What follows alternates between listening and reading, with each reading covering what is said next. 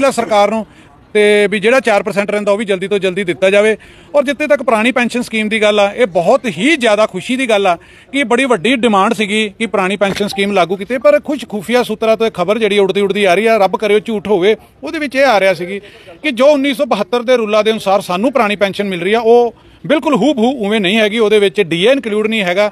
ਉਹਦੇ ਵਿੱਚ ਜਿਹੜੀ ਆ ਡੀਸੀਆਰ ਜੀ ਜਿਹੜੀ ਆ, ਉਹ ਇਨਕਲੂਡ ਨਹੀਂ ਹੈਗੀ। ਸੋ ਜੇਕਰ ਇਹ ਗੱਲ ਹੈ, ਤਾਂ ਸਰਕਾਰ ਨੂੰ ਅਪੀਲ ਆ ਕਿ ਇਹ ਸਾਨੂੰ ਪੂਰੀ ਜਿਹੜੀ ਆ ਪੁਰਾਣੀ ਪੈਨਸ਼ਨ ਸਕੀਮ ਦਿੱਤੀ ਹੈ, ਪਰ ਫਿਰ ਵੀ ਸਰਕਾਰ ਨੂੰ ਤੇ ਵੀ ਜਿਹੜਾ 4% ਰਹਿੰਦਾ ਉਹ ਵੀ ਜਲਦੀ ਤੋਂ ਜਲਦੀ ਦਿੱਤਾ ਜਾਵੇ।